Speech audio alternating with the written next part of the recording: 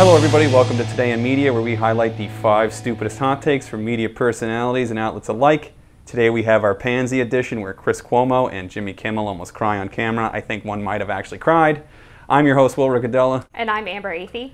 Let's hop right into number five. We have a CNN tweet where they've uh, interjected race into the Las Vegas shooting. Um, this has been a narrative of the media. I don't know what this guy's skin tone has to do with him being an, a complete nutcase. Well, not to mention the fact that white men are actually underrepresented in terms of committing mass shootings. They commit a smaller percentage of overall mass shootings compared to their representation in the population. But and a lot of the implication here is that somehow that you know white people will explain it away as a lone wolf, as if there's some ideology that white people get together and they say, hey, if there's a mass shooting by a white guy, let's just explain it away. What's the ideology behind it? You know, Islam is an ideology that drives people to you know to kill for political ends. There is no such thing among white people. I mean, I don't know. I, am not. I'm no expert or anything, but yeah. I mean, I'm not a criminologist, but Right. I think it's interesting that this op-ed was written by a Muslim, and she loves to generalize about all white men. But if you say the same thing about Islam or uh, you know committing terrorist acts, all of a sudden it's you know not all Muslims. well, good thing nobody takes CNN seriously anyway. It's true. It's a good point. Moving on to number four, we have MSNBC's Stephanie Ruhle uh, explaining why hunters use gun suppressors. They were preparing to loosen gun regulations to allow people to use these silencers to make them more available, which, as you because can the imagine, hunters, hu- their ears were hurting. Because those hunters, their how ears much were worse. hurting. So there, Stephanie Ruhle is just blatantly mocking hunters. I don't know why she thinks severe hearing loss is funny. Do you know why that's so funny? This is fascinating. Brace yourselves, everyone. This is how journalism works.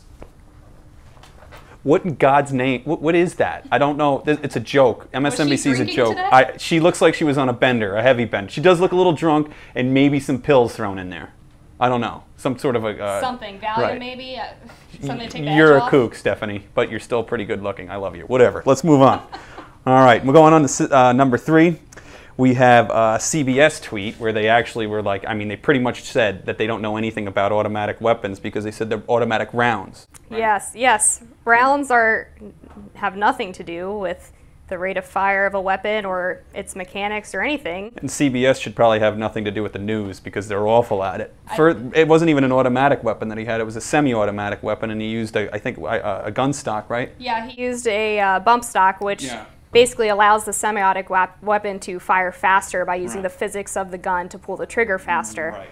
So clearly, CBS has no idea what they're talking about. I think it's hilarious that all these mainstream media people are pushing gun control and crying on camera about how many lives they want to save, and they can't even tell you the difference Mm. between a pistol and a rifle. Right, and it, it- the only thing gun control will do is ensure that criminals like this guy will have guns and law-abiding citizens won't. So think about that for five minutes. Something to consider. Yeah. And also, shut up. Because you're stupid. Yeah, exactly. Getting it now. yeah, Yeah. I, we're, I'm on board. All right, number two, we have Chris Cuomo having an actual meltdown on CNN today because he's really upset that Donald Trump and OMB Director Mick Mulvaney called out some of the misinformation coming out of CNN. You do not bring electricity back to an island of three and a half million people in two weeks when you're starting from practically nothing, which is what they are doing. down there. Nobody Listen, suggests otherwise. well, good. Nobody suggests otherwise, Mick. Good. That's why I'm saying don't call it fake. Don't call it fake, because it's not fake. Everybody gets that it's going to take time. Everybody gets that after a disaster, there's always lag and that you had infrastructure problems there. But you know what also people get who are experts in the fields that they're covering now and they're down there, whether it's Honore or the others? You could have had more people there. You could have had different distribution of assets sooner. You could be doing more now. The need is great and adjustments need to be made. And at the same time that the president in the White House was denying that, you were doing exactly that. No, you were bringing in talk about that Buchanan. You were bringing No, in no, more no, military let me- let me- infrastructure to do it. And that was the right move. If You- you it was the right talking, move to bring more can. If people want in. me You know that if you were on the administration side, ground. I'd be happy. Weird that Chris Cuomo's so defensive about being called fake news. You would start to wonder if maybe there's a little bit of truth to it. I actually thought he was going to start to cry a little bit there. But I mean, I've been on top of this Puerto Rican narrative, and it is fake news. I mean, at one point he said you could have had more people there. It was like Chris Cuomo wasn't listening to what Mike Mulvaney was saying. He was saying that the, the supplies and the people are there. There's no infrastructure to get it anywhere. There's no way to get new gasoline. The place was a mess before, and this just exposes the mess the mess for what it was. I mean, you know, what you know, government was the problem there, and then people expect, oh, government, should, you know, is, is the only solution. Yeah, well, they had 10,000 FEMA people there from pretty much the 2nd mm-hmm. after the storm went through. And Chris Cuomo's whining about how they needed more people, Right. and then gets mad when the administration says, well, actually, we've had pretty much the most people we could have. It's just that all of the roads are down. You can't get trucks through to distribute supplies. Needless to say, I'm not surprised that Mario Cuomo is his dad and that Andrew Cuomo is his brother. All right.